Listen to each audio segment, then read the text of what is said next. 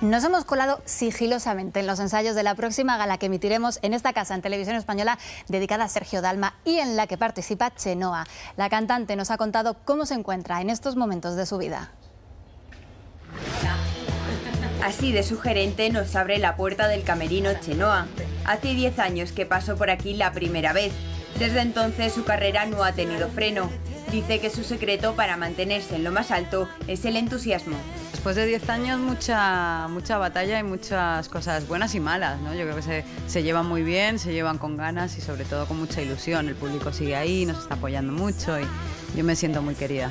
Su vida sentimental parece otro cantar. Hace poco tiempo que rompió su relación con el empresario Alen Cornejo y sobre los rumores de acercamiento con David Bisbal, prefiere tomárselo con ironía. Me río porque también he estado ahí y es mi vida, con lo cual me río porque bueno, hay que echarle sentido del humor, pero sin más. Tiene muy buena relación con sus exparejas, entre ellos el actor Alex González y el cantante David de María. Me llevo bien con todo el mundo, pero eso lo he dicho siempre, claro que sí. Tengo razones para entenderte,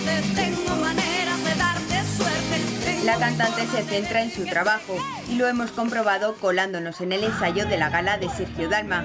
Con él compartió risas y su mejor voz.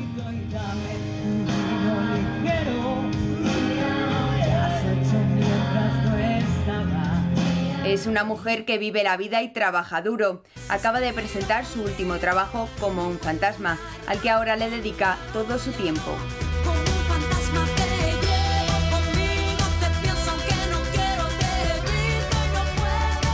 Una nueva experiencia para mí, siempre empiezo todo de cero, como un fantasma me ha traído cosas muy buenas y espero que siga, siga para adelante.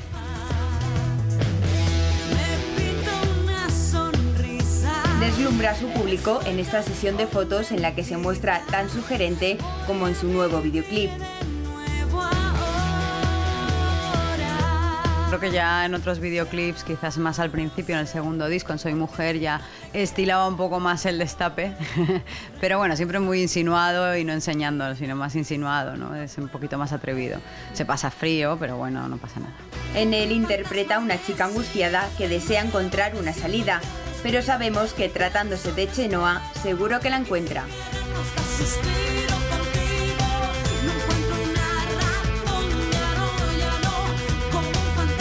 Un beso a Chenoa, siempre encantadora. Y